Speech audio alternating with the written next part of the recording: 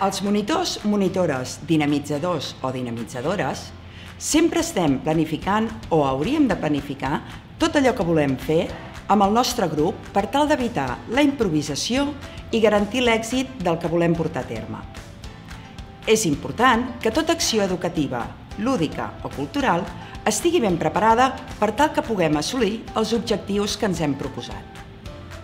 Això ens porta que constantment estem planificant projectes, sessions o activitats com ara dinàmiques, tallers, gincames, jocs, sortides al medi, al medi natural, cinefòrums, una infinitat d'accions.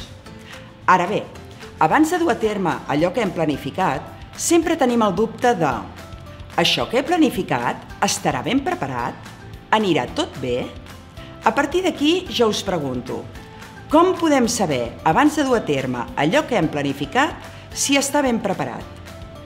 És una qüestió important, doncs això ens garanteix l'èxit del nostre programa, sessió o activitat. En el fons, és molt senzill, veureu. Un cop hem planificat qualsevol acció, ja sigui de caire més educatiu, cultural o lúdic, el que podem fer és anar a un company o companya i li diem «Si plau, mira't això que he planificat, a veure què et sembla. I li ensenyem.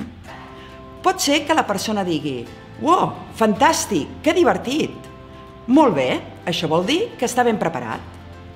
Pot ser que la seva resposta sigui «Val, està bé, però aquesta proposta no em motiva massa. Cap problema, a aquesta persona no li acaba de convèncer el que hem preparat, és una opinió personal, però el més important és que ho ha entès. El problema és quan la resposta és és que no entenc res. Aquí sí que tenim un problema, i és que la persona que ho ha llegit no entén la nostra proposta, és a dir, el que volem fer.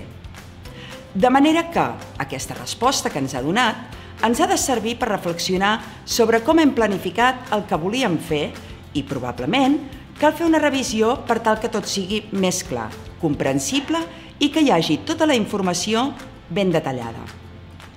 Dit això, i com a conclusió, una acció està ben preparada quan una altra persona, que no som nosaltres, ho pot entendre i té clar, pas a pas, el que volem realitzar.